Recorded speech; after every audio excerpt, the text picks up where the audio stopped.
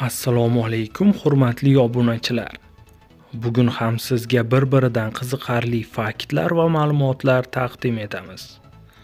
Bizni kuzatishda davom eting. Video yoqsa albatta kanalimizga a'zo bo'lib, like tugmasini bosib qo'ying. Bu biz uchun katta yordam bo'ladi. Marhamat, tomosha qiling. Dunyoda bir sirli qabila borki, hatto ularning qo'shnilari ham uzoq vaqt davomida ular bilan uchrashishdan qochganlar. Gap Zimbabveda yashovchi Vadoma qabilasi haqida ketmoqda.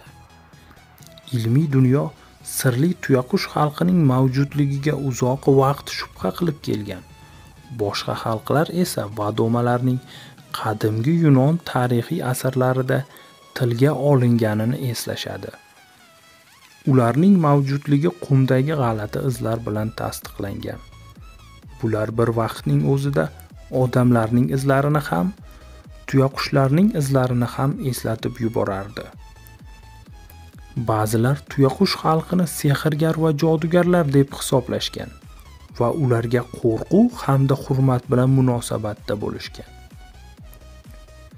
ko'rinishidan ular Afrika irqining boshqa vakillaridan farq qilmaydi. Ular juda samimiy, mehmondo'st va ochiq ko'ngil insonlardir. Ammo ularning oyoqlari juda g'alati tuzilishga ega. Bu qabila vakillarining ko'pchiligida odatda 3 ta o'rta barmoq yo'q. Bosh barmog'i va kichik barmoqlari esa V harfiga o'xshash shaklni hosil qiladi. Bu genetik kamchilik ektrodaktiliya deb ataladi va olimlarning fikricha, ular genetik mutatsiyalar natijasidir. Vadomalarning o'zlari bunday nuqsonlardan aziyat chekmaydilar. Ular odatdagidek harakat qilishadi, faol hayot tarzini olib borishadi va hatto bunday o'ziga xos oyoqlari tufayli daraxtlarga juda mohirlik bilan chiqishadi. Vadoma juda rivojlangan qabila bo'lib, ularning vakillari farmatsevtika va tibbiyot sohasida keng bilimga ega va ular o'zlarini kelib chiqishini qizil yulduz, ya'ni Mars sayyorasi bilan bog'lashadi.